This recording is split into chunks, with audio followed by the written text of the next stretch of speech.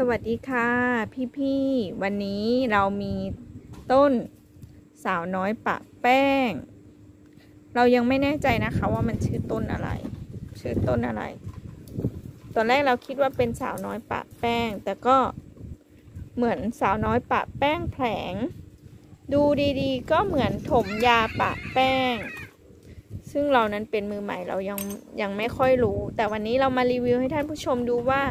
เราปลูกต้นนี้ครบ 2 เดือนแล้ว สวยมากเลย ใบใหญ่สี แต้มสวย มีสีแดงกับสีชมพู มีจุดสีแดงกับสีชมพูนะคะ สวยงามมาก แล้วก็มีมีลูก ต้นเล็กนี่ลำต้นก้านสวยงามค่ะ ทั้งสองต้นเลยนี่คือต้นที่หนึ่ง เดี๋ยวจะไปดูลำต้นต้นที่สองก้านแข็งแรงมากแล้วก็มีหน่อออกมาตรงนี้แล้วด้วยลำต้นแข็งแรง ปลูกมาสองเดือนแล้วนะคะ สาวน้อยปะแป้งของเรา มีจุดสีที่เด่นชัด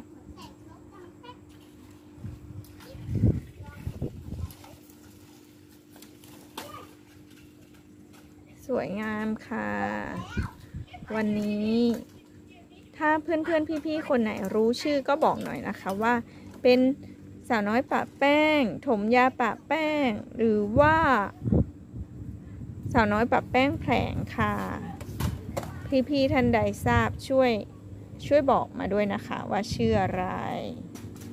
เรามือใหม่นะคะ หัดปลูกหัดเลี้ยง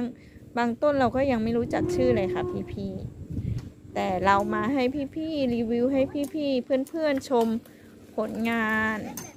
ว่าอ๋อเราเลี้ยงออกมาแล้วมันก็สวยดีเหมือนกันนะ เหมาะสำหรับประดับบ้าน